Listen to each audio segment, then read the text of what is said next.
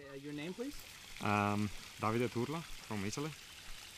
And uh, David, how did you hear about the Billy Meier case? By by chance, I found a, a book in a, in a shop, and um, I, I found it with all the pictures of Billy.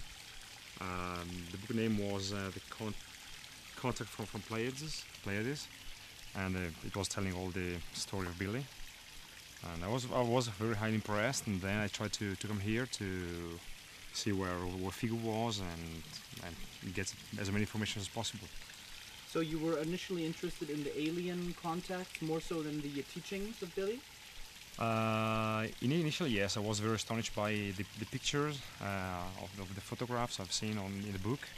But then, after a while, uh, this this was not so really important because then the teaching was very overwhelming compared to the uh, compared with the pictures.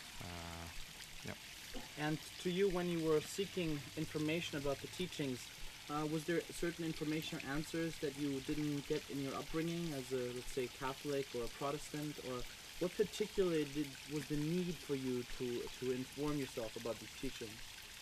sorry, can can you repeat the questions? Yes. Why, why did you need to know these teachings? What was important to you about them? Uh, didn't you weren't you already religious? Did you go to church as a child, or how was this better?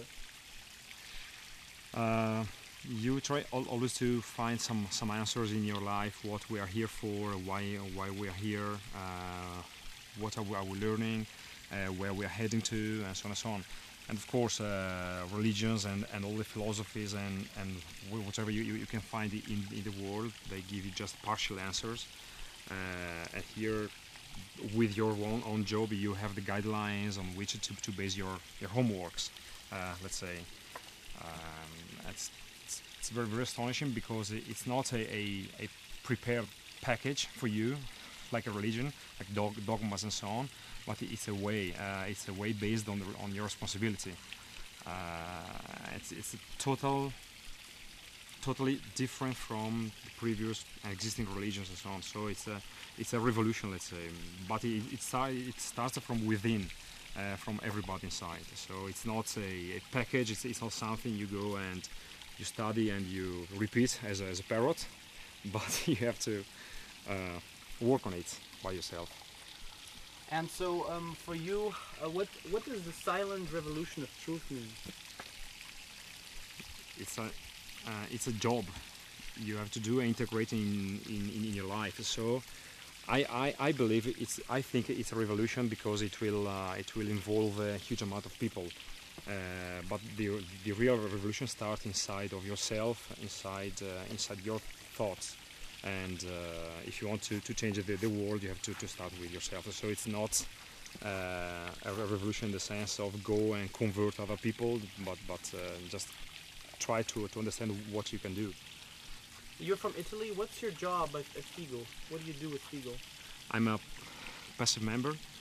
Uh, we have a Gruppo di Studio in Italia, in Italy, uh, where we have uh, five people now, uh, all passive members, and we uh, study the, the teachings of the Billy and the Plejarans and, and FIGU as well, and we try to um, in- integrate uh, the teachings in our life. Um, how about any doubts from the outside world? People that said this is crazy. You're you're listening to somebody who talks to aliens. Come on. Uh, it's not a matter of believing or not. Uh, it's a matter of understanding and, and reach the point through your own thoughts, with your own job, with your own homeworks. So it- it's not a a matter to believe it or not. Uh, so it's very simple. Was it a personal struggle to get to this to this point? Um, to really follow the teachings of Billy, to really understand what he's saying? Was it a, a struggle within yourself? This process? Uh, it's a continuous uh, evolution, step after step. So it's not a kind of uh, of a revolution you have inside. Of course, uh, when you learn about the um, UFOs, these new philosophies, philosophies, and so on, you've got a kind of uh, cultural um, earthquake inside of you because we are used uh, in many years, perhaps, to listen to to un- to, to see things in, in a certain way, and then all of a sudden you understand that uh, things are much much simpler and uh, you can grab them through your own understanding let's say From your family, have you gotten any criticism that you follow this belief? Of course, of course, yeah, absolutely. but it's uh, it's a matter of uh, it's not a belief. It's not a. It's just a a personal work that uh, you, you, must do. And so, uh, if you feel good with this work you do, then it's fine. Um, are you married? Do you have children? No. And um, what do you wish for our future as a human race? First of all, that, that we reduce the un- unbelievable overpopulation we have on this planet, because seven and a half billion people are just uh, unbearable by this planet, which is very, very small, and the resources are very limited.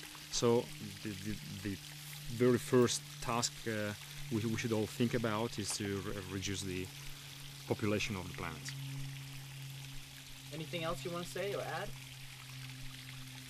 It's, uh, it's, it's very simple. Um, it starts from within inside ourselves. So it's not a matter of um, of convincing our people or to convert other people. So yeah, that's it.